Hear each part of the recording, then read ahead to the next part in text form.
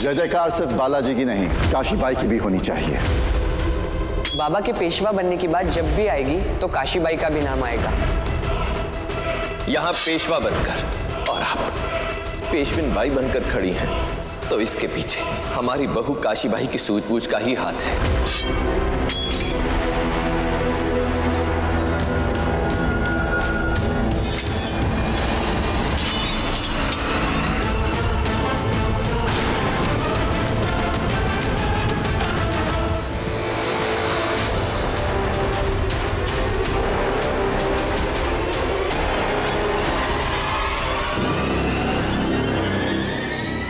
काशी तुम ठीक हो? तुम्हें चोट तो नहीं लगी? यहाँ दर्द हो रहा है अरे हम क्या हुआ? हाथ उल्टा करो। हम बिल्कुल ठीक है। काशी मुझसे झूठ मत बोलो। सच सच बताओ। हमारा हाथ कलाई में दर्द हो रहा है? कहाँ दर्द हो रहा है? यहाँ पे? नहीं कहीं पे भी नहीं। आई ये सब क्या है? पाँच सात बार पूछ लो काशी से वो ठीक है कि नहीं। फिर निश्चिंत हो जाओ कि उसकी कलाई को कुछ नहीं हुआ है फिर बताती हूँ।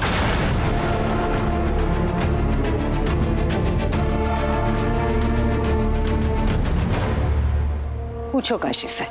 उसके मायके में उसके घर के हर सदस्य को हिसाब लगाना ब्याज जोड़ना आता है कि नहीं?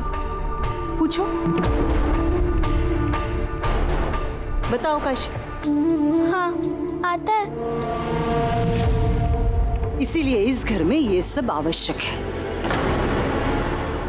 अच्छा लगा था बाजी ये सुनकर कि युद्ध भूमि में तुम्हारी रक्षा के लिए काशी ने तलवार उठाई थी।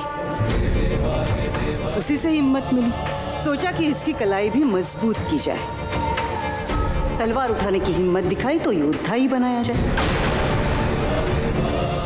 इस युद्ध में तो तुम उसके साथ थे बाजी। किंतु अगर कभी युद्ध भूमि में ये अकेली हुई तो? पर आई। ये तो अभ्यास का विषय है ना? और ये अभ्यास से ही होगा। और काशी को मैं अब इसका भी अभ्यास करवाऊँगा।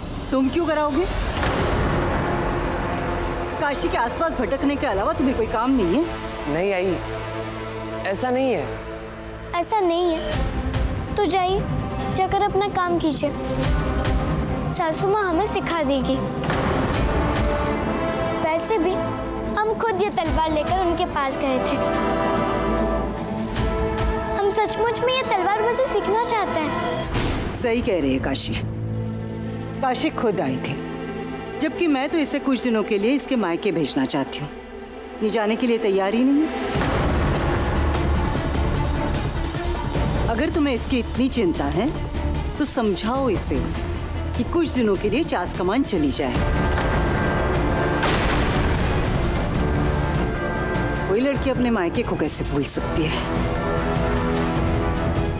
आई, काशी की नाराज़गी शिव काकी से और इसीलिए वो चास कमान नहीं जाना चाहती। और इस विषय पे मैं काशी पर दबाव नहीं डाल सकता।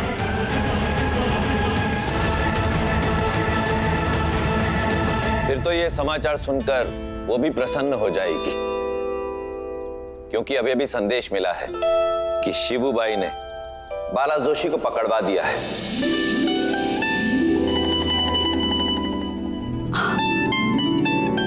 अच्छी बात है। अब तो तुम्हें चास कमान जाना चाहिए। तुम्हारी छोटी आई को क्षमा करने के लिए। अब तो दिक्कत नहीं है ना?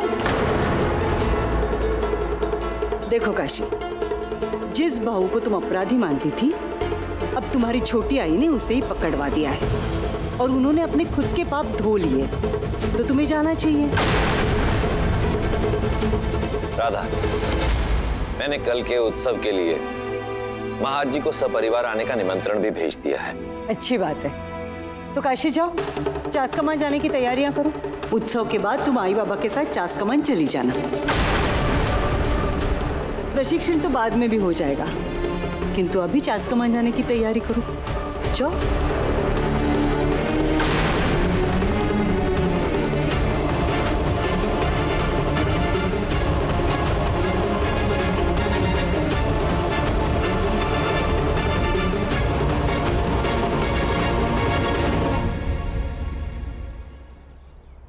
ये देखकर अच्छा लगा रहा था भाई, कि तुम बहू के मायके के साथ टूटे हुए संबंधों को वापस जोड़ने की कोशिश कर रही हो। मैं उत्सव की तैयारियाँ देखता हूँ। उम्मीद तो बस इतनी कर रही हूँ कि किसी तरह से आप सब पर से काशी का भूत उतर जाए। इसीलिए कुछ दिनों के लिए उसका हमसे, इस घर से, बाजीराव से दूर चास कमान में रहना ही ठीक है।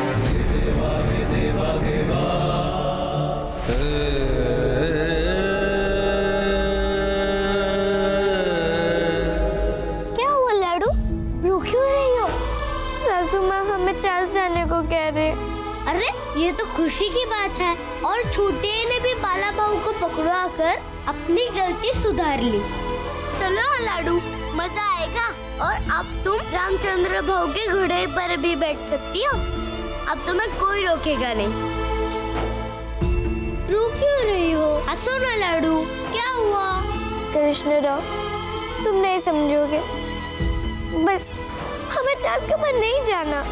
पर क्यों लाडू?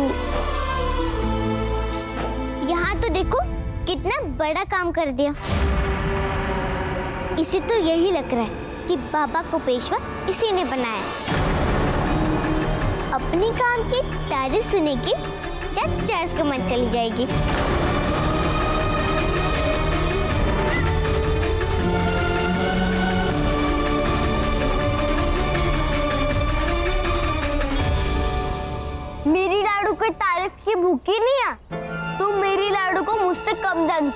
इसलिए कुछ भी मत बोलो। तुम्हारी लाडू बाई को तो बाजीराव पसंद भी नहीं थे। आने लगे ना पसंद? तुम्हारी लाडू बाई अब बदल चुकी है।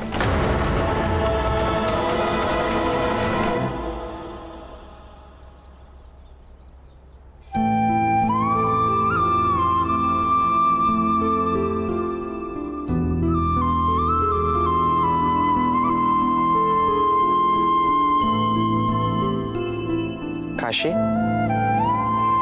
क्या हुआ? उदास मत हो। और आई सही तो कह रही है। तुम्हें कुछ दिन चास होकर आना चाहिए। अगर आप हमें ये समझाना तो हमें मत समझाइए। हम चास कमान नहीं जाना चाहते हैं। लेकिन क्यों काशी? अब तो तुम्हारी छोटी आई ने बाला भाव को पकड़वाकर अपनी गलती का प्रायश्चित भी कर लिया अब तो माफ़ कर दो उन्हें। और फिर मैंने सोचा कि कुछ दिन पहले तुम्हारे बाबा भी तुम्हें लेने आए थे और तुमने मना कर दिया था जाने के लिए। अब कुछ दिन होकर आ जाओ।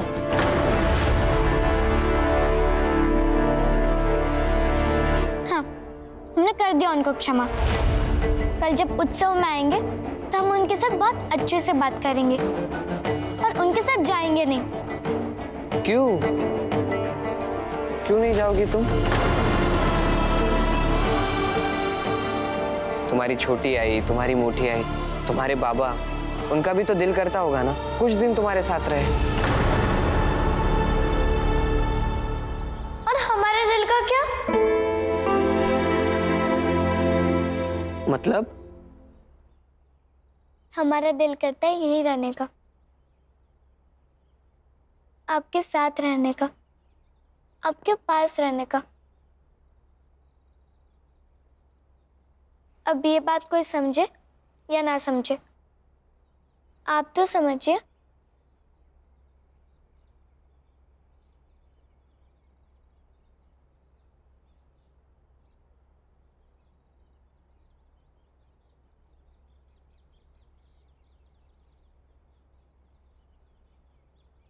काशी।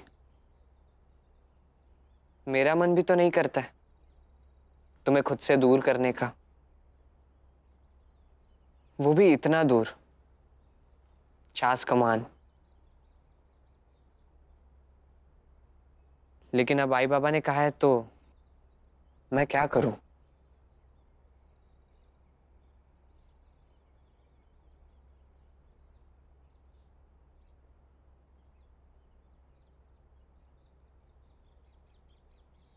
छोटी मालकिन, आपको जो जो कपड़े चास कमान लेके जाने हैं, सब निकाल कर दीजिए। मालकिन ने कहा है, मायके जाने की तैयारी में मैं आपकी सहायता करूँ।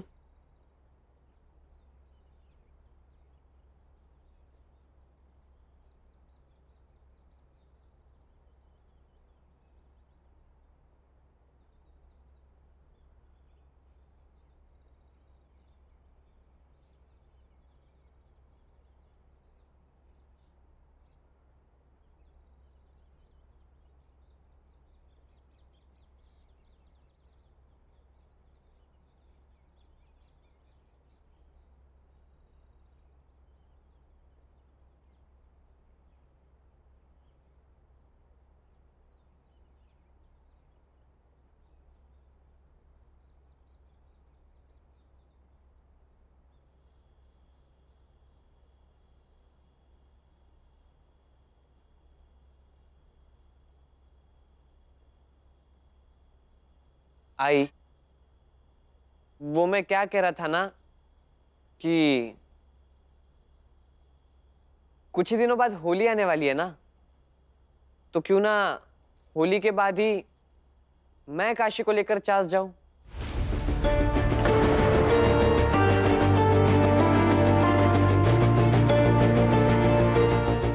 ये तो अति उत्तम विचार है। वैसे भी विवाह के बाद की पहली होली तो बहू को ससुराल में ही मनानी चाहिए। हाँ। काशी तो कल ही जाएगी। तुम होली के दिन चले जाना।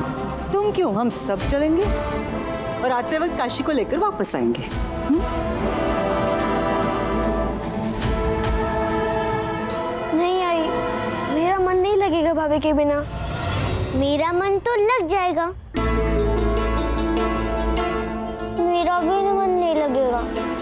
चुप करो तुम सब। तुम सबको अपनी अपनी चिंता है? काशी बेचारी विनम्र है, इसलिए कुछ नहीं कह रही। मायके जाना किसको नहीं अच्छा लगता हुँ? जाने दो उसे।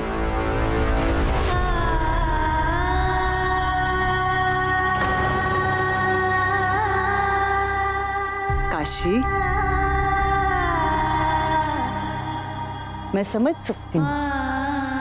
मायके की याद आ रही है, इसलिए आँखें भर आई ना। चिंता मत करो। आज का ही तो दिन है। कल जा ही रही हो तुम। रोना मत।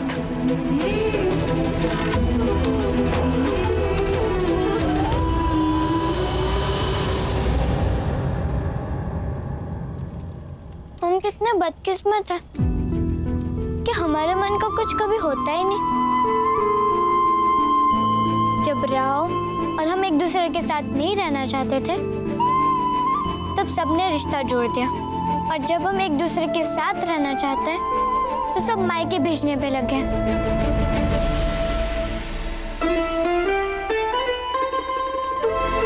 अब आप ही बताइए, कि हम क्या करें? कुछ करने की आवश्यकता नहीं। अभी चास कमान चली जाओ। दो चार दिन में मैं आ जाऊँगा तुम्हें वापस लेने। फिर चार दिन बाद ही आएगा हमारे पास।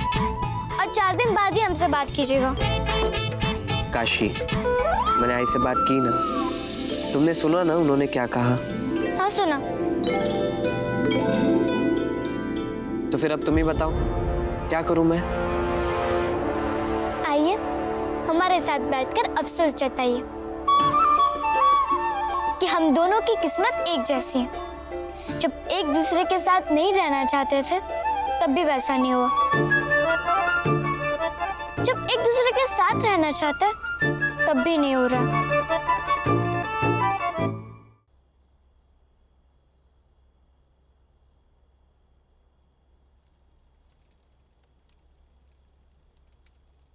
काशी, तुम्हें पता है,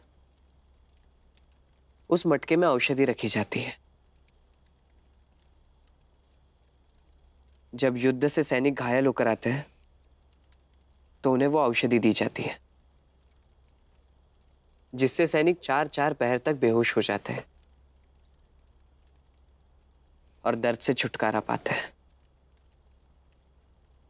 मेरा बस चलता तो मैं रोज एक एक कटोरी औषधि सूरज और चाँद को पिला देता, ताकि ना कभी रात बीतती और ना कभी दिन आता। और मैं और तुम हमेशा ऐसे आमने सामने रहते।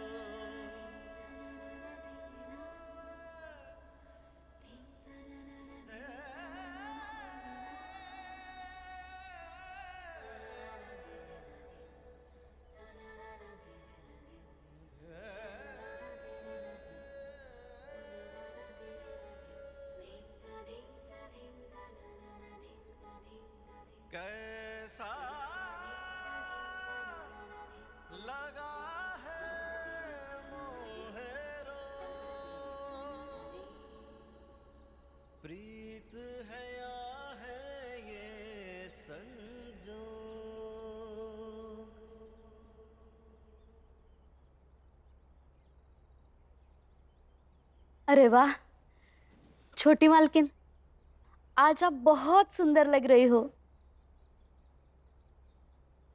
हाँ तो क्यों ना लगे सुंदर?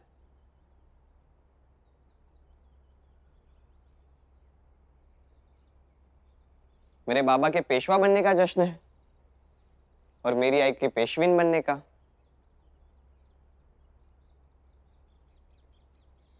और ये भी तो भविष्य की पेशविन बाई ही है। तो वर्तमान पेशविन के आगे भविष्य की पेशविन को कम थोड़ी दिखना चाहिए। और फिर जो लोग आए होंगे, उनकी नज़र पलाडू पर ही होगी। आखिर इसी के उपाय से ही तो बालाजी काका पेशवा बने हैं।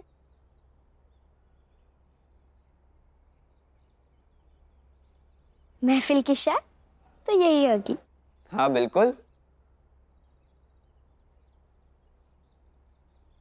लाडू आई बाबा आ गए।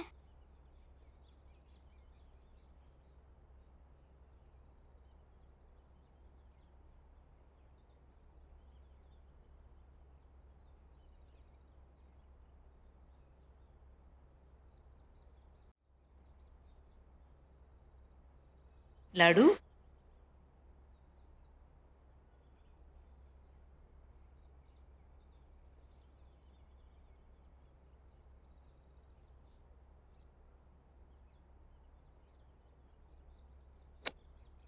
कैसी हो लाडू?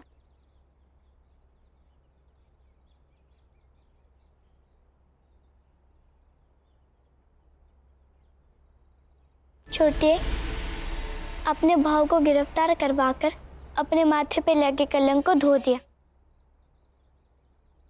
इसलिए हम आपको क्षमा करते हैं।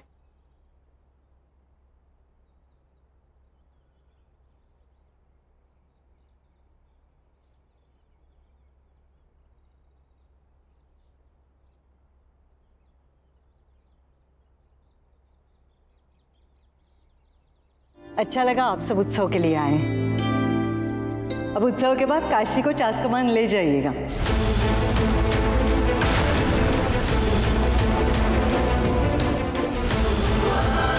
सारी तैयारियाँ की है उसने।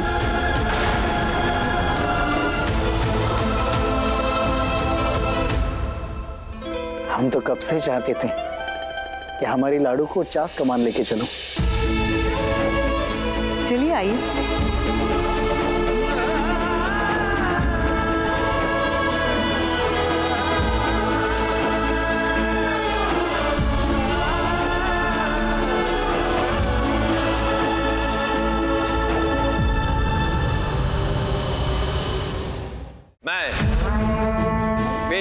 पेशवा बालाजी राव विश्वनाथ बल्लाड़ यहाँ उपस्थित। आप सभी को प्रणाम करता हूँ। और आज आपका ये पेशवा, आप सभी को ये विश्वास दिलाता है कि भविष्य में आपको किसी भी प्रकार की कोई आवश्यकता हो या कोई चिंता हो तो बेहिचक, बिना संकोच आप मेरे पास आ सकते हैं। विश्वास रखिए। आपका पेशवा और ये पेशविन आपकी समस्याओं का समाधान किए बिना चैन से नहीं बैठेंगे। पेशवा बालाजी विश्वनाथ बल्लाल की। पेशवा बालाजी विश्वनाथ बल्लाल की। उत्सव आरंभ हो।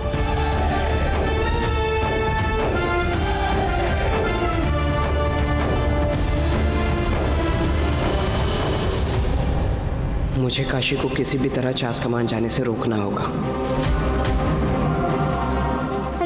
कमान नहीं जाएँगे। हमें कोई ना कोई तरकीब ढूंढनी होगी ताकि हमें कोई ना भेज सके।